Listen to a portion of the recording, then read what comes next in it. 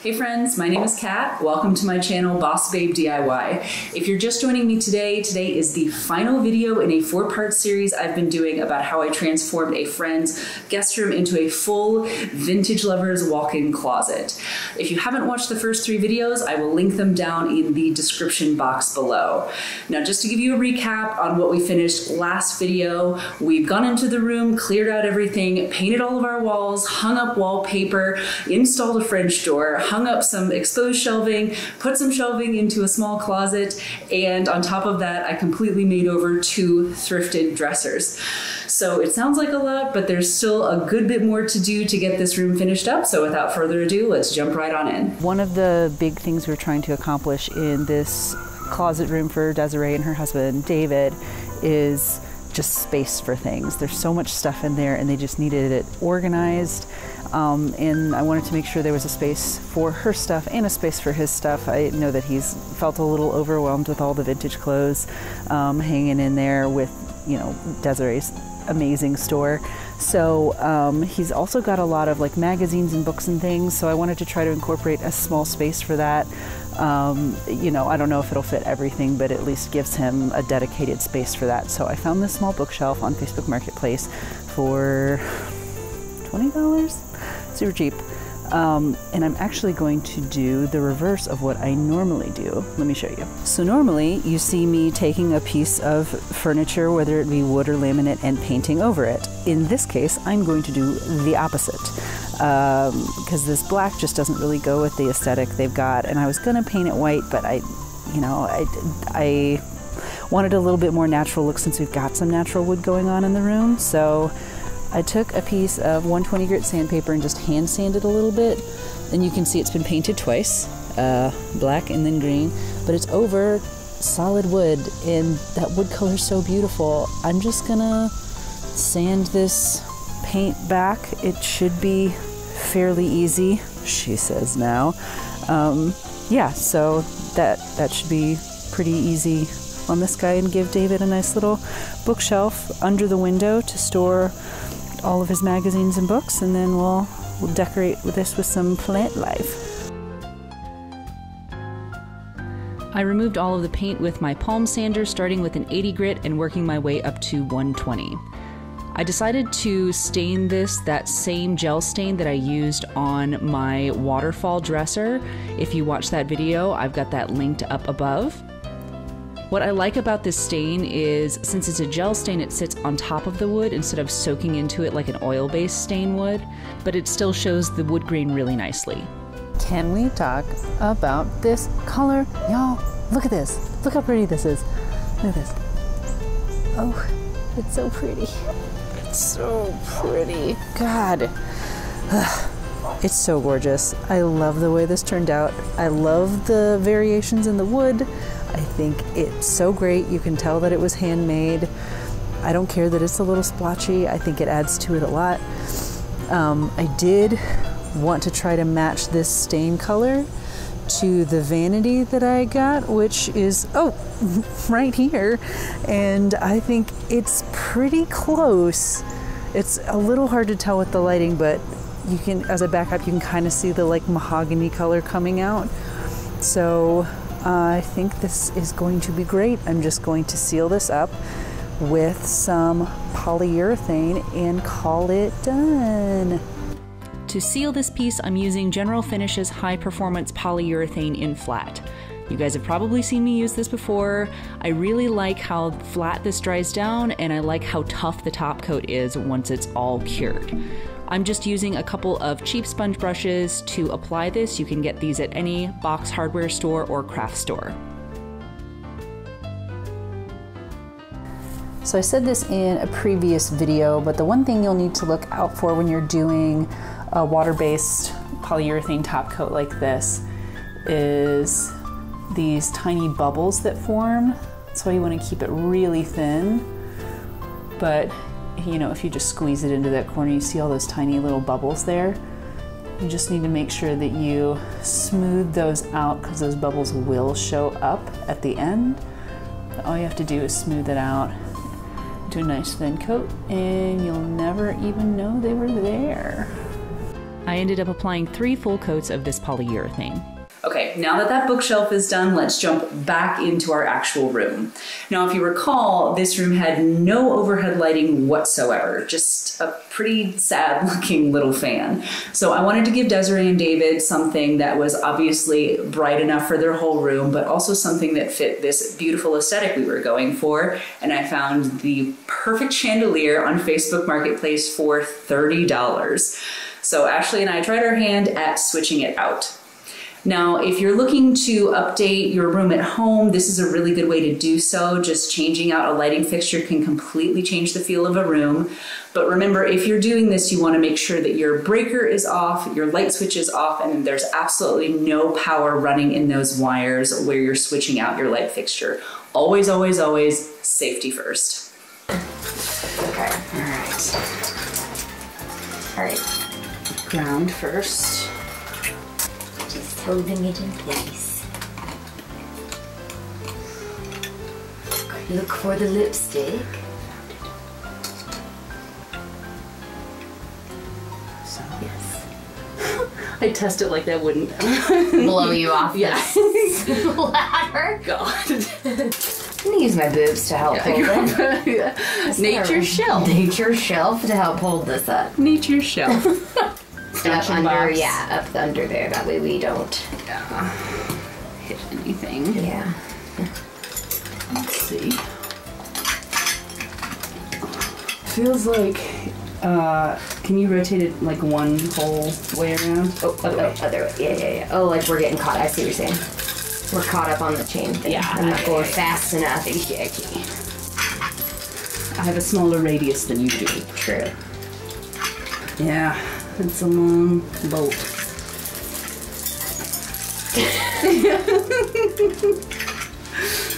I just wanted to feel Like we did it. Oh my gosh, look at this cable. Ridiculous. it's okay. It's fine. You'll never see it. Nope. Hopefully that's high enough.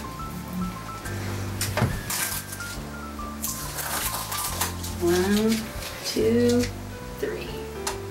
Oh, damn. oh, man. Oh, well. Cute. And it was back to the drawing board. We turned off the power and unscrewed the cap, and it turns out it was thankfully just a loose connection. A couple of our wires weren't completely twisted around each other underneath that cap, so we tightened them up, twisted the cap back on, installed it again, and turned the power back on.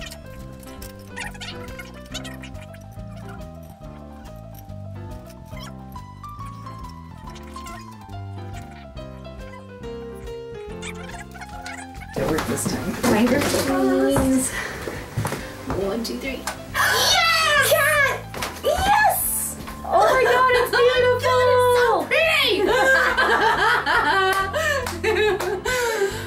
Amazing. Oh my god, I'm so happy. Can we talk about this lamp? It's amazing. I found it at an estate sale of uh, a, a person who was obviously an avid collector of things, uh, one of them being cardinals. This person had tons and tons of cardinal things, as well as some like wonderful Betty Boop and Marilyn Monroe tchotchkes. Um, I am obsessed with it. This is one of the first things I found, and Desiree was like, Yes, yes, absolutely. They came as a pair. It's got this amazing bronze base and all of this beautiful coral fringe, and I love it so much. The next big project I had to tackle in this room was fixing up this French door. Now, I mentioned in my first video this was originally an exterior door, so you see it's got this extra hole for a deadbolt, but we don't really need it because there's no reason to deadbolt this closet room. So I'm going to be filling in this gap and then smoothing over it so that it basically disappears once it's all painted. To do that, I'll be using Great Stuff. If you've never used Great Stuff before, it's typically used in gaps around window frames.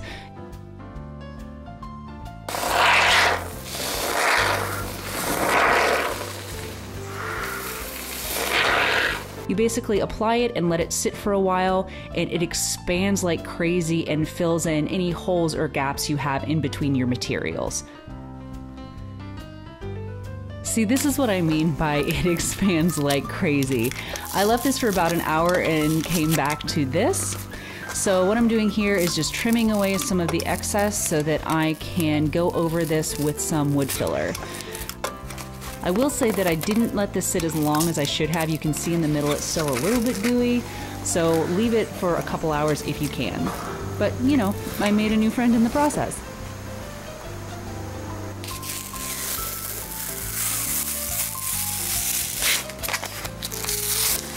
To fill in these gaps, I'm using Bondo wood filler. This is a two-part wood filler, so you start with your base, and then there's a cream hardener that you add just a little bit to, and you mix it all together, which activates the actual wood filler.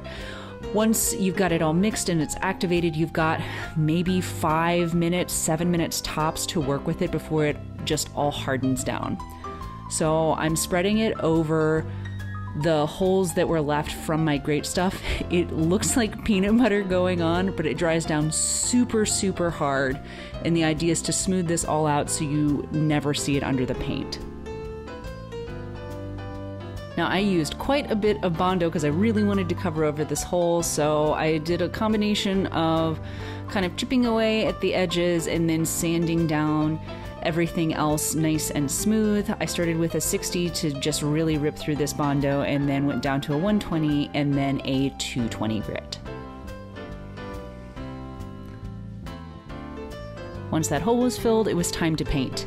I took on the long, arduous task of taping off every single one of these windows inside and out just to get a nice crisp line. I'm glad I did, but it took a long time. I'm using a couple of my Zibra brushes to paint on this door. I'm using that same kind of peachy white that I used on the closet and our shoe boxes.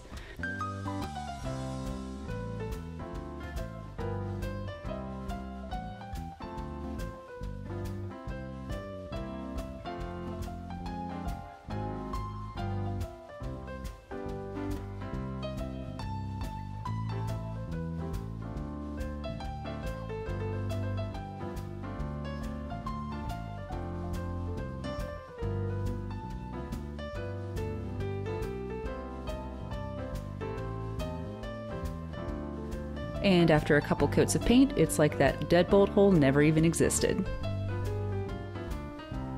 Next, I'm moving on to installing the open copper pipes that will house Desiree's skirts and shirts and any shorter pieces of clothing.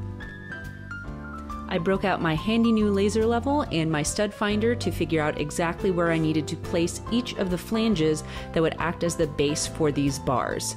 These are half inch copper pipes and connectors that I'm using for each of these bars.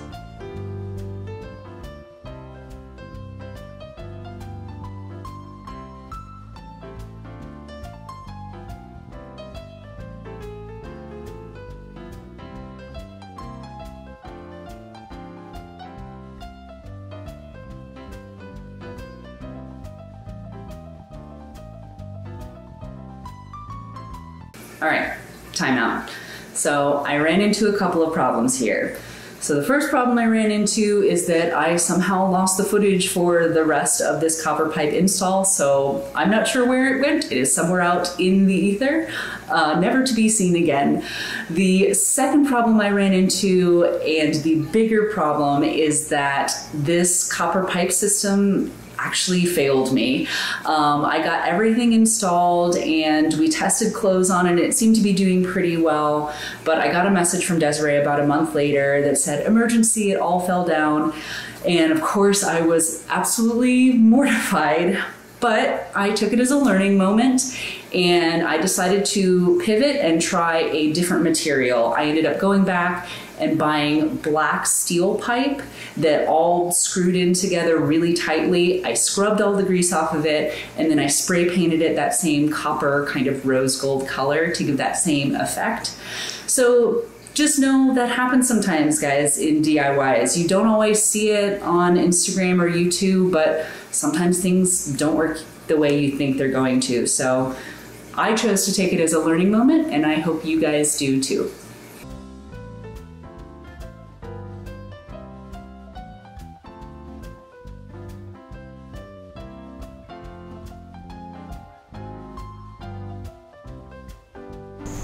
I'm gonna make some simple shoe boxes, I guess is what you call them, uh, out of this plywood, this pine plywood that I got cut down. The other side is uh, really nice and even, no knots in it. Um, excuse me. Fun fact uh, if you go to Home Depot and buy a sheet of plywood, and that sheet of plywood won't fit into your car, like me, you can have them cut it down. Uh, they won't cut down to anything less than 12 inches. The guy was really nice today and shaved off just a hair for blade width so I could get four even pieces out of the plywood. Um, but yeah, so it's just cheaper than buying one by 12. And uh, yeah. Now, you would typically want to break out a circ saw or a sliding miter saw to cut down these 12 inch pieces, but this is what I had on hand and I was kind of feeling lazy, so I just cut halfway through and then turned it over and cut the rest of the way through since these don't have to be terribly accurate. I also set up this stop block when I was cutting my shorter pieces. This just ensures that I get the same size piece every time. To connect these pieces, I'm going to be using pocket holes. If you have not seen me use this before, this is my Kreg pocket hole jig, and it is honestly one of my favorite tools that I own. It just makes connecting these pieces of furniture where it doesn't matter if you have these holes underneath. It just it makes it so much easier. So if you have the means, I would suggest investing in one because it comes in so handy. Once I had my boxes constructed, I primed them and painted with that same peachy white.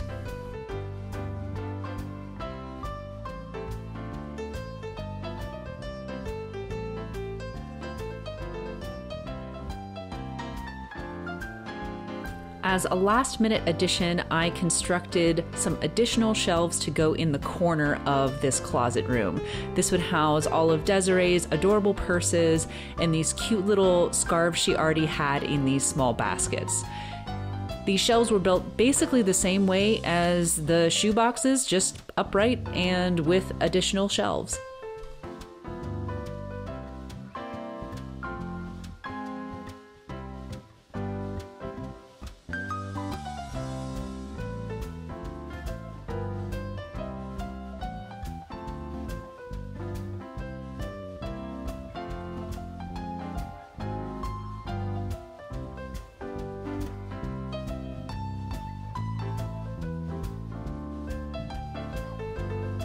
Moving back over to our palm wall, I had originally intended to leave this closet open to display all of David's shoes and their beautiful winter coats, but as we all know, things don't always stay organized. So I found this beautiful green velvet curtain on Facebook Marketplace for $20 and I decided to swag it just to the side of the closet. That way you can see their beautiful clothes on display, but they can cover it up if ever they need to just throw something in there last minute. That way it's still functional, but it's also very much a part of the room.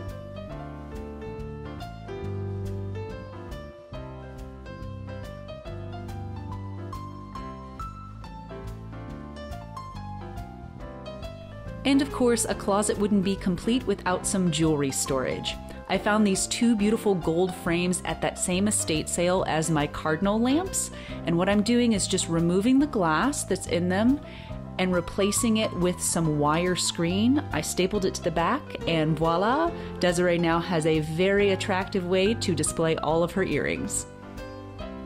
The last thing I'm doing to finish up this room is attach a piece of quarter round to cover up that gap that I left at the top of my wallpaper wall.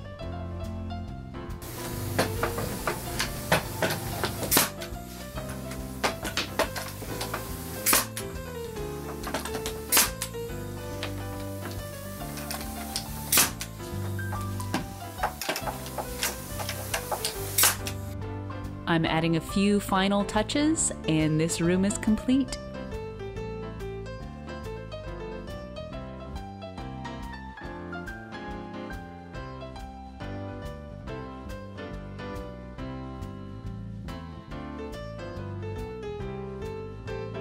Before the renovation, this room felt like chaos, madness, now this room feels so organized and beautiful, and it really is a reflection of me and my personality. It is truly a mix up of some of my favorite things. Um, I was heavily inspired by Blanche's room in The Golden Girls, um, especially with the wallpaper and some nods to the 80s. And then I also was really inspired by um, Hollywood boudoir, uh, very lush and lavish uh, velvets and um, just lush colors. And I'm also very inspired by sustainability and reusing things and bringing them back to life, which is what Kat really did so beautifully. She took old pieces in order to really utilize secondhand materials and make them completely come back to life. I think that it's so inspiring that to know that we don't need to buy new things, that we can really repurpose and use things that were once beautiful and maybe just need to be freshened up or given a new life. And how beautiful is that to be able to use these wonderful materials um, and uh, reuse and recycle and just, you know, give something a second chance.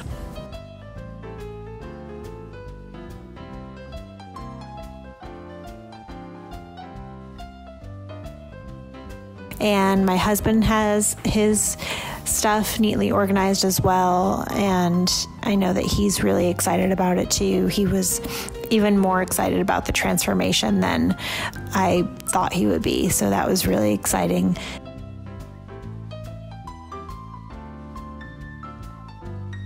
My favorite part of the room is maybe the wallpaper edition. It just brings a whole different vibe to the room and um, I also just really enjoy being able to see everything neatly organized. That was probably the biggest thing that I needed practically, and it has made life so much easier to see my own personal collection of vintage clothes organized in a way that makes me be able to use the clothes more and really appreciate the collection.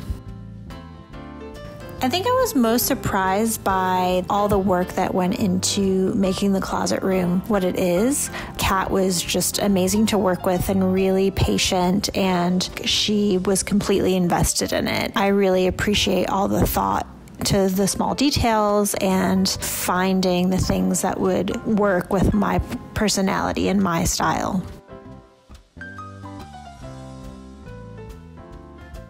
The best reaction to the transformation of the closet room is friends' reactions when they come and they see see it and knew what it looks like before, um, and how it's just completely transformed into something different, not only functional but really beautiful.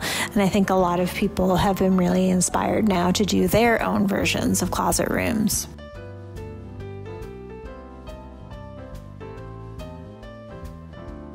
Working with Kat was incredible, and I am have been recommending Kat to everybody um, because I'm just so in love with my closet room.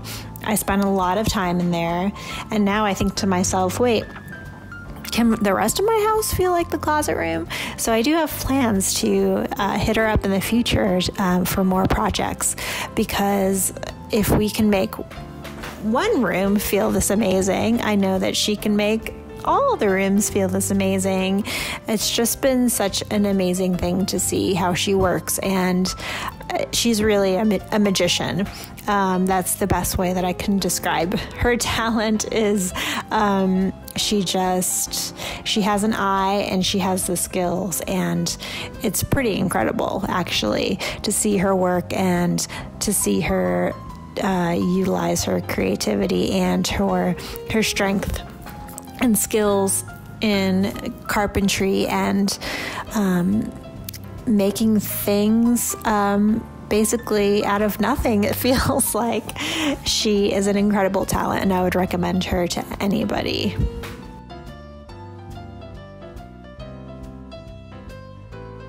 Thanks so much for sticking with me through this closet renovation journey, guys.